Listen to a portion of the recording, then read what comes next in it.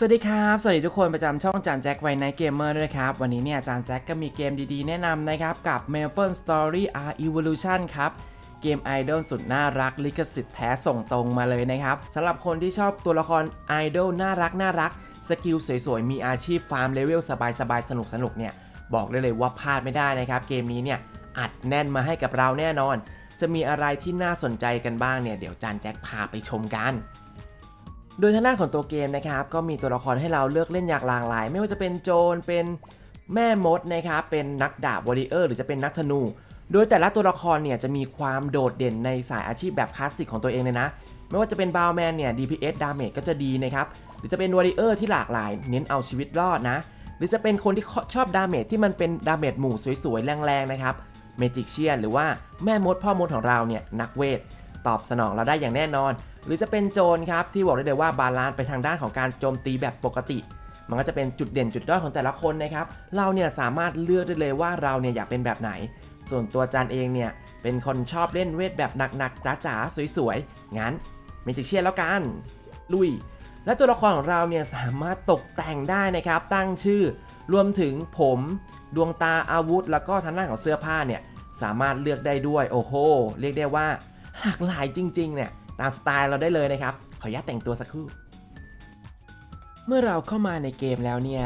เราก็จะพบว่ามีระบบต่างๆเนี่ยรองรับผู้เล่นอยู่อย่างมากมายเลยนะครับ โดยเราเนี่ยต้องทำการ quest คุยกับตัวละคร NPC ในเกม เพื่อทำ quest ประจำวันหรือจะเป็น quest เนื้อเรื่อง เพื่อทำการปลดล็อกความสามารถหรือว่าสิ่งประดิษฐ์อาวุธต่างๆ ของเรานะครับนี่เห็นปะจะสังเกตได้ว่าของต่างๆที่เราหามาได้เนี่ย ต้องมาจากการทำ quest นะครับ มันจะมี quest ฝึกฝนเริ่มต้นนะครับ quest ระดับกลางนี่เราต้องเข้าสู่การท้าทายครับ โดยเกมนี้เนี่ยเราเนี่ยสามารถกด auto ได้นะครับนี่สำหรับคนที่แบบอยากเล่น chill ๆสบายๆนะครับ กด auto ได้หรือว่าอยากเล่นแบบด้วยมือกดตีมอนลุยปุ๊บ map เนี่ยโดดมา map โดดเอ้ยโดดขึ้นไม่ได้ครับอยู่ตรงนี้ตายขึ้นมาตีมันนี่ครับ โดยสกิลต่างๆของเราเนี่ยก็จะมาจากการอัพเลเวลนะครับ ยิ่งเลเวลเราสูงเนี่ยสกิลเรายิ่งยิ่งจะมีปลดล็อกได้มากขึ้นนะ ulti boom ตายซะ เรียบร้อยสำเร็จ quest ครับ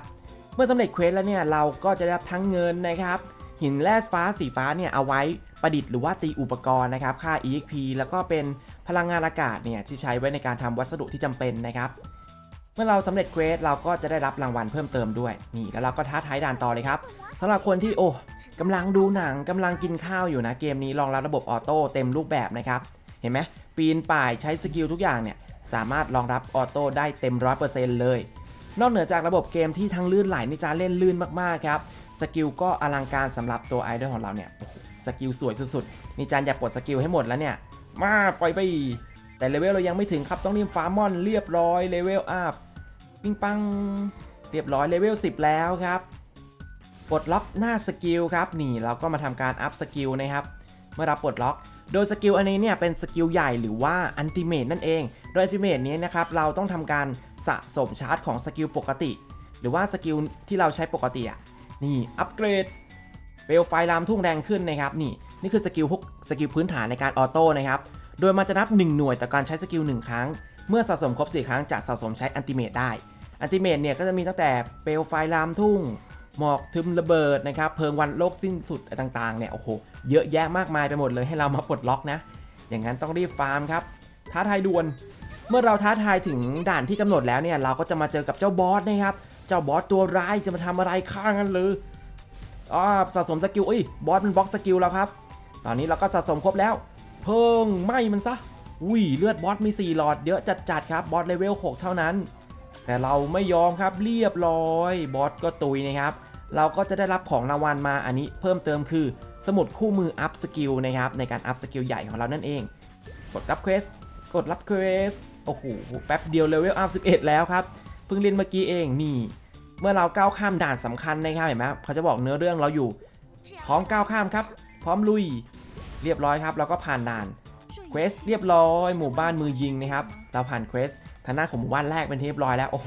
ไวมากๆ เกมนี้ออโต้มันๆครับ นี่มีแพ็ก7วันสำหรับ login ประจำวันแจกด้วยโอ้โหของรางวัลอย่างเยอะ นอกเหนือจาก quest ด่านเนื้อเรื่องที่ให้เราเนี่ยออโต้เล่นเลเวลอัพกันแบบง่ายๆแล้วนะครับ ยังมีระบบเล่น community หรือว่าเล่นกับคนอื่นนั่นเองโดยที่หน้าต่อสู้นะครับเราเนี่ยสามารถเข้ามาเล่นได้นะ มันจะมีทั้งท้ารบจำกัดเวลามีแบบกลุ่มนะครับ แบบรายวันเนี่ยจานเปิดสนามฝึกนักผจญภัยแล้ว ขออนุญาตหาเพื่อนร่วมดิ่ง เจอแล้ว 4 ผู้โชคดีของเรานะครับ มาหูจะมี warrior ครับ มีนินจา มีเราที่เป็นเวทแล้วก็ลูกปืนนะครับ เป็นปืน เดี๋ยวเราดูแลด้านล่างเองเพื่อน เพื่อนจัดการด้านบนไปเลยเดี๋ยวฉันดูด้านล่าง เอ้ยเพื่อนไปไหน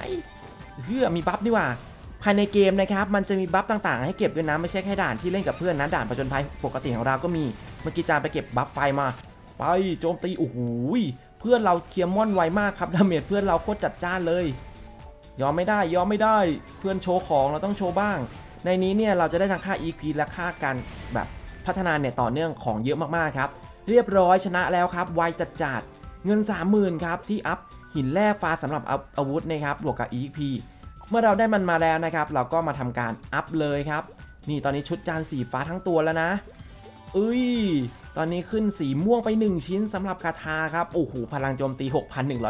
6,199 สุดจัดครับ ต้องรีบฟาร์มแล้วแบบนี้เรามาดูหน้าสกิลครับสกิลไหนอัพได้เรารีบอัพนะครับ เพราะว่ามันจะช่วยให้เราเนี่ยผ่านด่านต่างๆ ได้ไวมากยิ่งขึ้น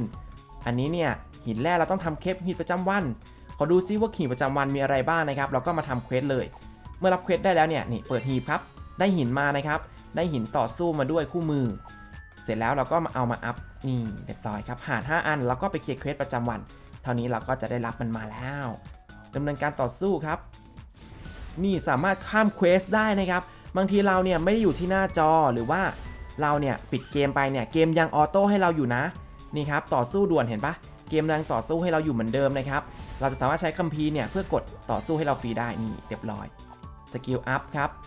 ไปดูที่ติดตั้งโอ้อัพได้อีกแล้วสกิลอัพไปอีกเพื่อเพิ่มความเก่ง อันนี้เราไปที่ quest ประจำวัน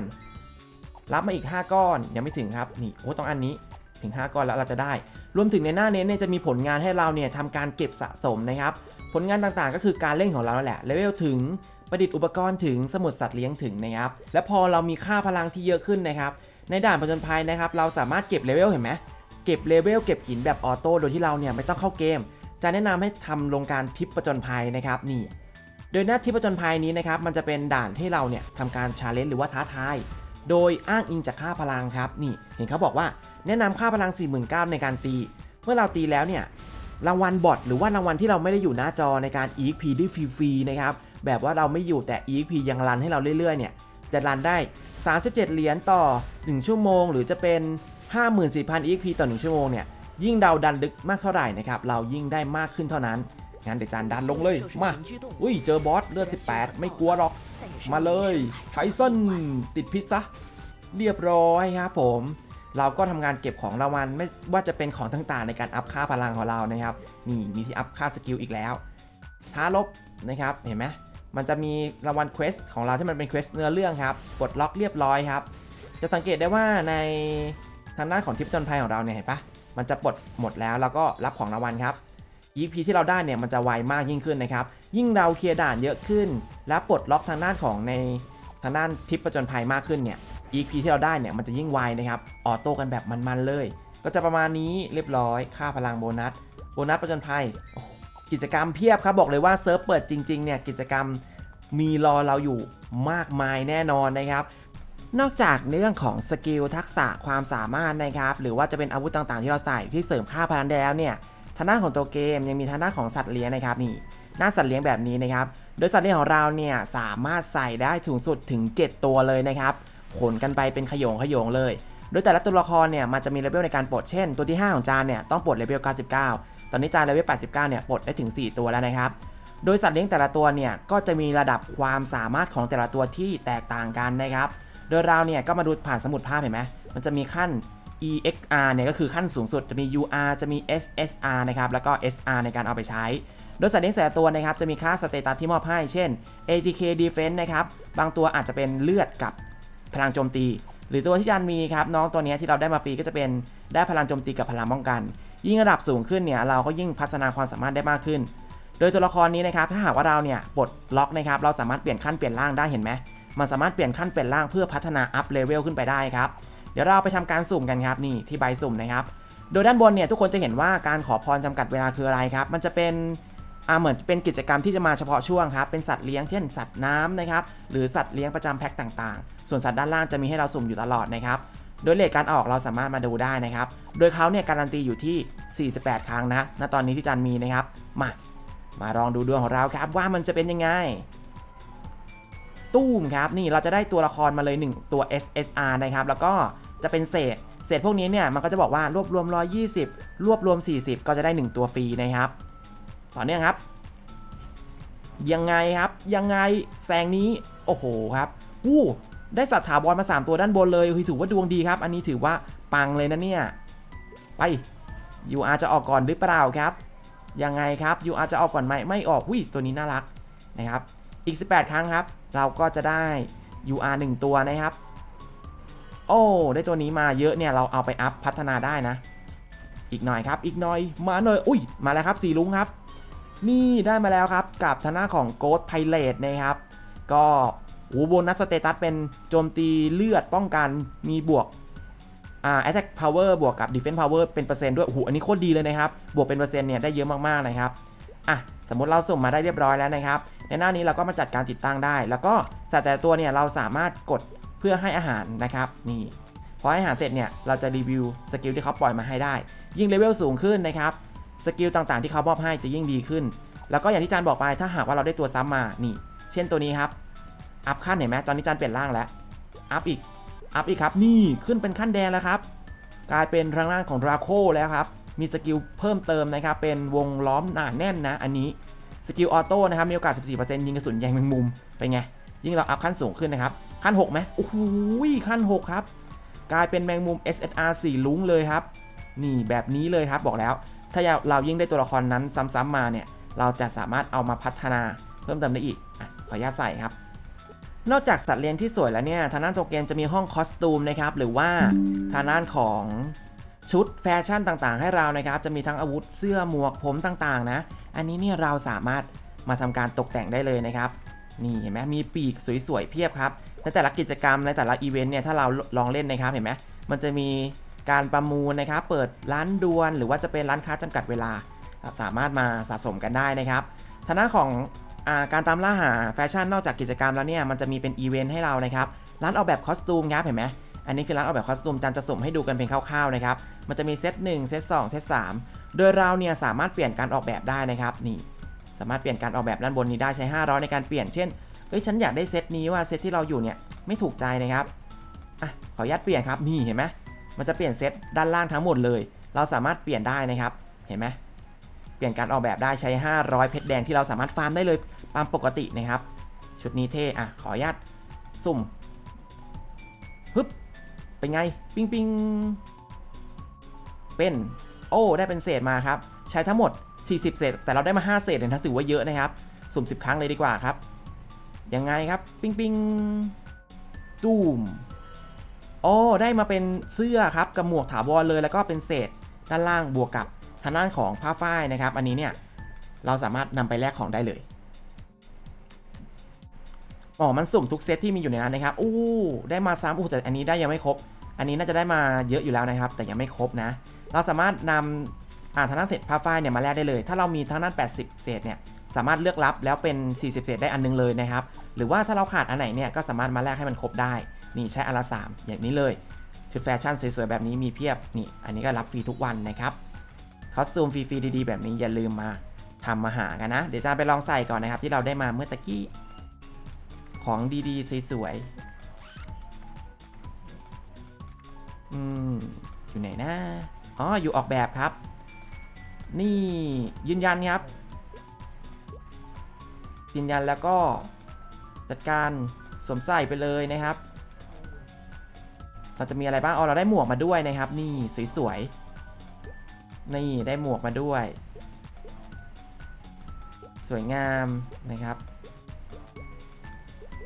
อย่างชุดแฟชั่นตรงนี้สามารถแสดงได้นะครับที่แสดงหมวกที่เราใส่อยู่หรือว่าใส่ของต่างๆนะครับอย่าลืมมาออกแบบมาหากันเยอะเพราะว่าแฟชั่นเกมนี้เนี่ยมีให้เราเนี่ยหาดูดิ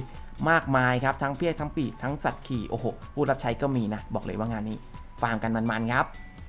ใครนะครับที่ยังไม่ได้ลงทะเบียนล่วงหน้านะ รีบไปลงทะเบียนล่วงหน้ากันเลยนะครับรับทางด้านของ costume ซาคูมชุดปีศาจฟรี พร้อมกับสัตว์เลี้ยง SSR นะครับจำนวนจำกัดนะรีบไปลงทะเบียนกันเลยก่อนจะพลาดของรางวัลดีๆ อย่างที่บอกไปนะครับ นอกเหนือจากรูปแบบเกมใหม่ๆ การพัฒนาอัปเกรดระบบใหม่ๆ ที่มารองรับผู้เล่นแล้วเนี่ย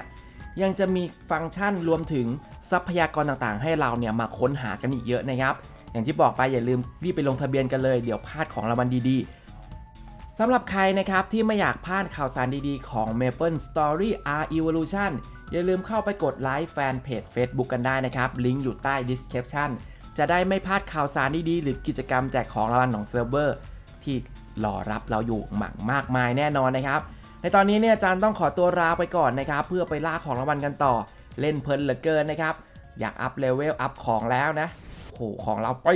ลุยกันต่อ แล้วเจอกันใหม่คลิปหน้านะครับสำหรับคลิปนี้ บุยบุยไปลุยเฮ้อ